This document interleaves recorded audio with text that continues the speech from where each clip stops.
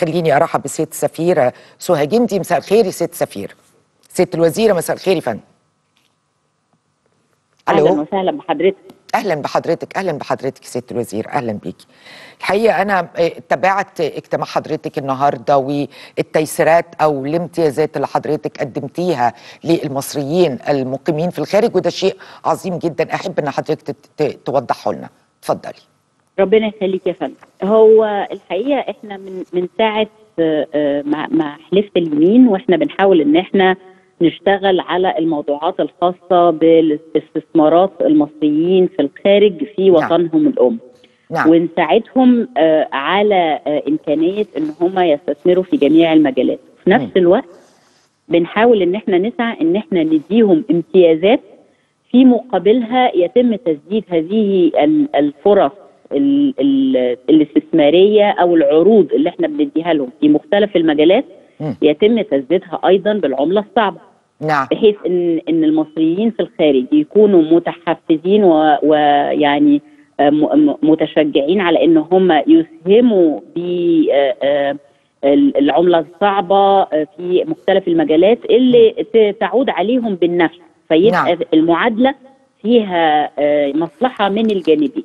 تمام. من جانب الدولة الأم ومن جانب المصري المغترب والمهاجر خصوصا إن هم اهتموا زي ما حضرتك شايفة بالتحويلات في وقت في أزمة اقتصادية على مستوى العالم كانوا زادت التحويلات إلى إلى مصر آه لأن هم شاعرين ب ب بشكل أكثر امانا بإن السياسات السوقية بتاعة مصر فيها بعد رؤية وفيها عمل على تطوير وعمل على دفع وتدعيم الاستثمارات بتاعتهم في في البلاد وده نعم. بيحسسهم براحه. ومن ثم من ساعة من ساعة ما جيت الحقيقة وإحنا بنشتغل بشكل مكثف. على تو تراك زي ما بيقولوا أو. مسارين، مسار. سريع اللي حضرتك كنت لسه حالا بتتكلمي عليه. وهو إن إحنا يبقى عندنا محفزات يتم الاستفادة منها دلوقتي.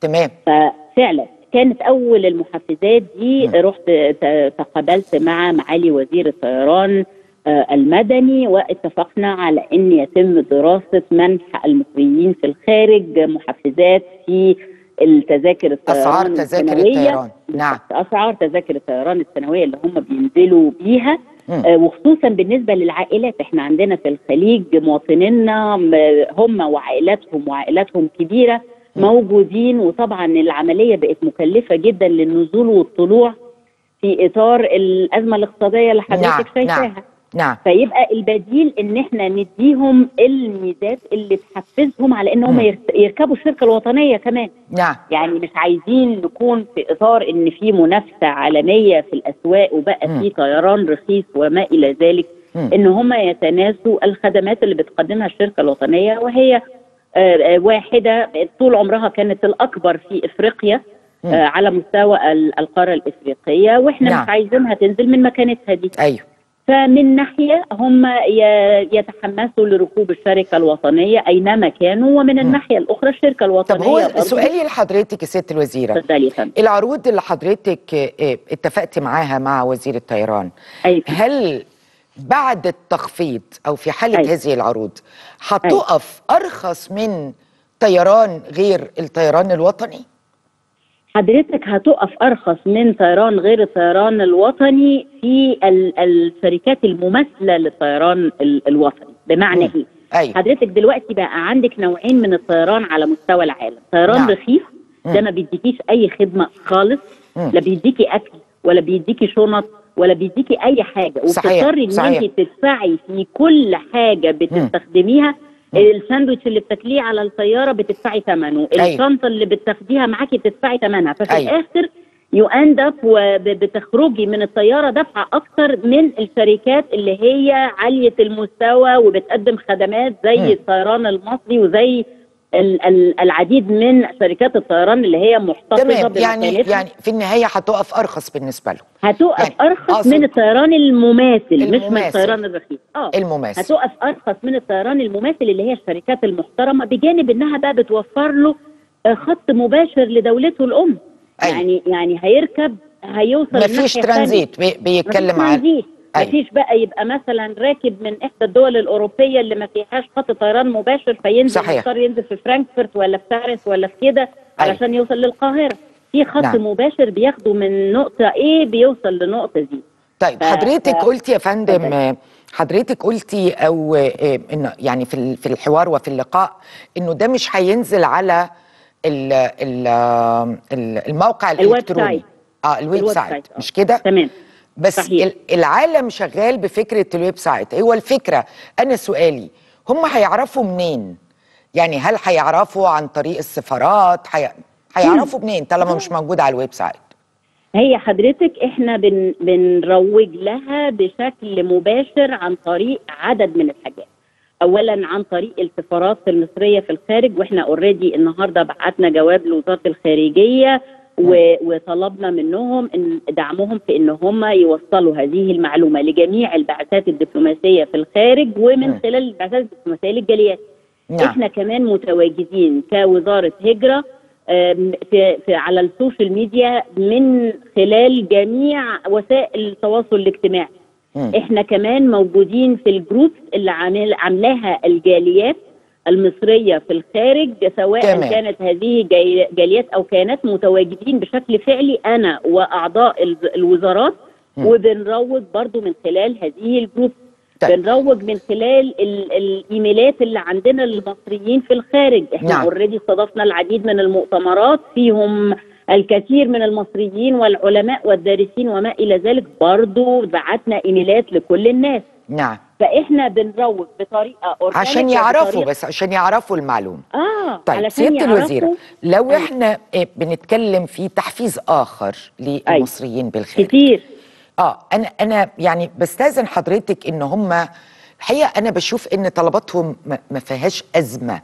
لا. يعني فكرة إنه فكرة إنه لما تيجي تتكلمي على أتصور كده إيه، مطلب أساسي للمصريين بالخارج يقول لك تحيلي فرصة إن أنا أنزل عربية معفاه من الجامعة أيوه يا فندم هل هل ده ده, ده مطروح حضرتك أنا أنا أنا متبنية آراء ال- المصريين في الخارج في هذا المجال وأنا already عارضة على معالي رئيس الوزراء وقمت بالتواصل مع عدد من الوزراء في هذا الشأن.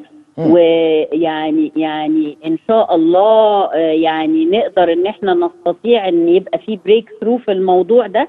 بس يعني اللي أنا أقدر أقوله دلوقتي إن إحنا already بنسعى آه، يعني يعني جاهدين لتحقيق مطالب ال- المصريين. ولازم ننتظر لحد آه، نتيجة عرضنا والدراسة يتم الإعلان عنها أنا مش هقدر أعلن عن أي حاجة في هذا الموضوع مم. إنما أنا كل يعني واضح إن في ملفات تانية يعني أيوة هم. طلباتهم معروفة محتاجين إن طبعا. هم يتعاملوا بشكل طبيعي هنا لما ينزلوا صحيح. يلاقوا فرص متساوية في ال- ال- المدارس بتكلم عن ده أنا المدارس هعدلهم حضرتك فرص متميزة في في في في كل المجالات آه. يعني فرص متميزة في الاستثمار العقاري وفي ال- إن هو يبقى عنده شقة ويبقى عنده شاليه ويبقى عنده كده. أنا مع السيد وزير الإسكان عملت اوريدي بتاع ده اجتماعات في هذا الشأن. وهو وعدني ب آه، ب- بإن هو يدفع بعدد من المشروعات آه، لترويجها من قبلنا وتبقى للمصريين في الخارج فيها شكل من أشكال التم- التمييز. نعم. آه، نفس الحكاية بالنسبة لموضوع السيارات. أنا عملت كذا آه، آه، مقابلة ومعروض على ده مطلب أساسي ده مطلب, مطلب أساسي, يعني م- معروض على معالي رئيس الوزراء آه. آه، المقترح و- وإن شاء وعلى الله فكرة لا يمنع من التفكير في آلية للاستفادة والطمأنينة ليهم أيضا. طبعا يا فندم. آه. ومش بس كده البنوك آه، البنوك المحفزات إحنا حضرتك في مؤتمر الكيانات آه، آه، كان كان من ضمن المجالات بتاعه المؤتمر المجال الخاص بالاستثمار استثمار المصريين في الخارج في بلدهم الأم وفي مم. هذا آه، ال- المؤتمر الكيانات صدر عنه توصية ب- بإن إحنا آه، يبقى في آه، شكل من أشكال المحفزات المالية والبنكية التي تدفع بالمصريين في الخارج بإن مهم. هم يستثمروا مدخراتهم لأن حضرتك شايفة أساسا العالم معظمه ما بقاش بيدي أي نوع من أنواع الفوائد على العملات الصعبة في البنوك الخارجية مم. وبالرغم من إن في دلوقتي بعض البنوك ال- ال- الدولية الكبرى اللي ابتدت تفكر في إن هي. تتبع نظام آخر أو آه، اوريدي آه، بقى آه. في بقى في تغيير في السلوك ما هو إنما- ما هو يا ست الوزيرة يعني أيوة. بالمنطق بالمنطق أيوة. لو أنا ما لقيتش ميزة موجودة هنا في البلد دي مش آه. موجودة في مكان تاني آه طبيعي إن أنا أقول طب ليه طبعا طبعا طبيعي طبيعي حضرتك هو ده اللي أنا بشتغل عليه from day one نعم. من يوم واحد من يوم نعم. واحد حضرتك يعني آه، لو يعني أكيد أكيد حضرتك سامعة لأن إحنا م- ماشيين بشكل ممنهج very systematic وبقابل مم. كل الوزراء وبصل إلى قناعات تخدم مصالح المصريين في الخارج لأن ده فعلا مش بس مصلحه مصر في إن هي تحصل على عملة صعبة مصلحتنا كمان في إن إحنا نربط المصريين في الخارج وأبناء الجيل. الثاني والثالث. والرابع اللي هم اللي هم ذخيرة لينا واللي نعم. هم قوة ناعمة صحيح. فإحنا حضرتك مصلحتنا 100% ربط هؤلاء واضح. إن إحنا الفترة اللي جاية هنسمع أخبار كويسة و... والعائد بتاعها هيبقى سريع لأنه التعامل مع المصريين في الخارج كون إن هم إيه تلبى طلباتهم ده معناه العائد سريع. ده يعني ده أسرع استثمار ممكن يكون بيحصل. هتابع مع حضرتك واسمحي لي إن نبقى نعرف يعني الموافقات اللي اتخذت بعد لقاء حضرتك مع معالي رئيس الوزراء ومع بعض الوزراء. إيه؟ لطمأنة وتوفير عايزين نقول آه، وتحقيق مطالب المصريين في الخارج. بعد إذن. حضرتك سيادة الوزير. يا فندم. بشكرك فن بشكرك فن. تشرفت بلقاء حضرتك. آه، سيادة الوزيرة سهى جندي وزير الدولة للهجرة وشؤون المصريين بالخارج. و